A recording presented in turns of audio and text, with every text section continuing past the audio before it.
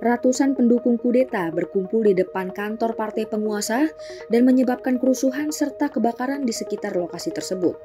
Para pemuda beraksi merampok sepeda motor, kursi, dan peralatan lain dari gedung tersebut.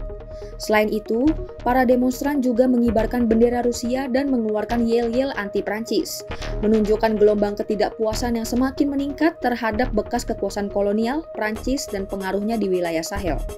Aksi protes ini datang setelah Angkatan Bersenjata Negara mengumumkan dukungan terhadap kudeta yang dilakukan oleh pasukan pengawal presiden pada hari sebelumnya. Pemimpin kudeta, Amado Abdrahmane, menyatakan di televisi negara bahwa semua aktivitas partai politik telah dihentikan. Ketegangan meningkat karena Presiden Mohamed Bazoum dari negara tetangga, Mali, mendekatkan diri dengan Rusia sejak mereka berkuasa pada tahun 2020 dan 2022 secara berturut-turut dan memutus hubungan dengan sekutu barat tradisional.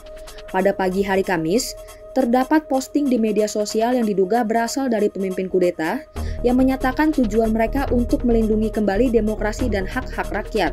Sementara itu, Kepala Uni Afrika, Azalea Sumani, mengutuk kudeta ini dan meminta pembebasan orang-orang yang ditahan. Kondisi di New Jersey dan wilayah Sahel terus menjadi perhatian dunia internasional karena ketegangan dan konflik terus berlangsung.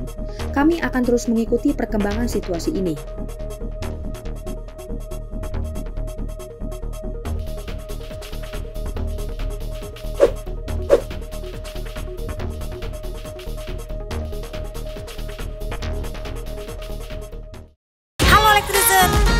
Berapa nih? Udah bayar tagihan listrik belum? Belum. Electrician, jangan lupa bayar tagihan listrik sebelum tanggal 20 ya.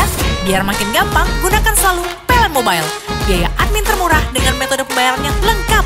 Nah, gimana? Semua makin mudah kan?